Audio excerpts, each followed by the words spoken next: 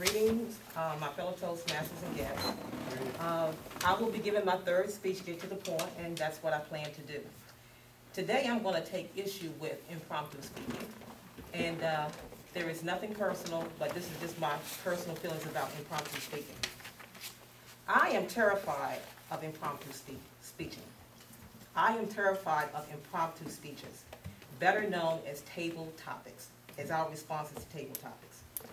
When the question, quotes, or comments begin, I become absolutely absorbed with the frightening feeling that I will be called upon.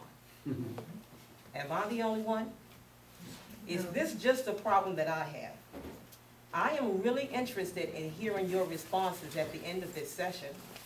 And I'm also interested in hearing some of the responses of some of our fellow Toastmasters, like Chartreuse Robinson, who always seem to do an exceptionally good job no matter what kind of speech she gives.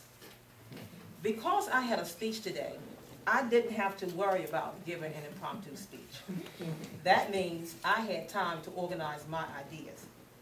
The purpose of my speech today is to convince you that all good speeches, including impromptu speeches, require some time to organize.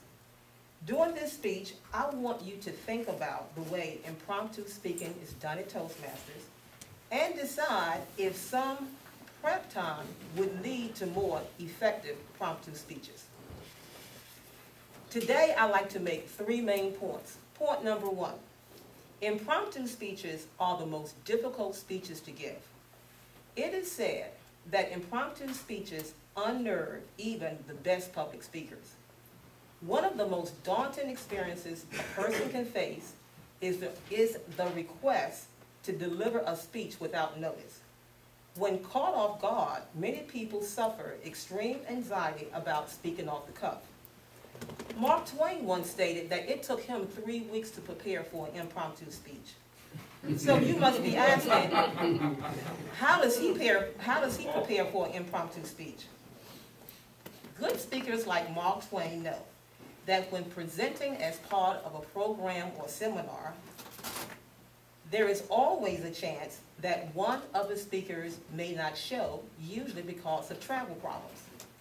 Mark Twain, like other good speakers, will look over the other topics that are being covered and prepare to offer some thoughts or suggestions as a substitute, especially if they have some background or expertise in the area.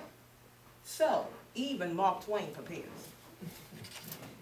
Point number two, whenever you stand in front of an audience, you want to give a good speech.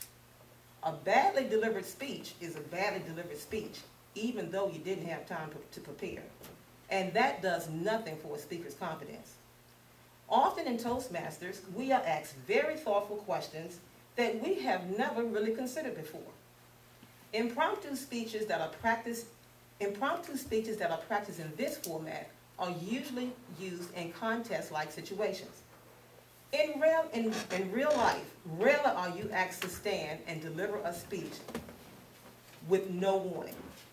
Rarely are you asked to deliver a speech on a particular topic that you are totally unprepared for. In real life, there is a fair measure of warning before being asked to speak on a particular topic. Point number three, some time is needed to organize your thoughts. Every source I read about impromptu speaking emphasized taking some time to organize. One source suggested that you walk to a secluded place where you can think about your opening remarks, main points, and conclusion. Another source suggested that you grab a pen and a piece of paper and jot down some interesting and significant points. Yet, another source suggested creating an outline of your major points.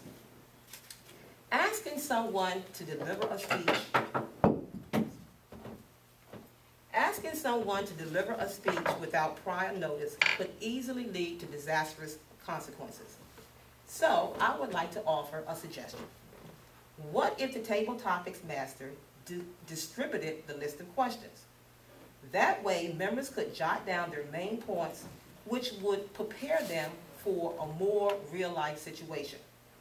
In conclusion, I know that some prep time would lead to more effective impromptu speaking. It will also lead to impromptu, impromptu speaking that is less intimidated and better organized. I'd like to present back to the top, I mean, to the podium, the Toastmaster of the day, Chartreuse.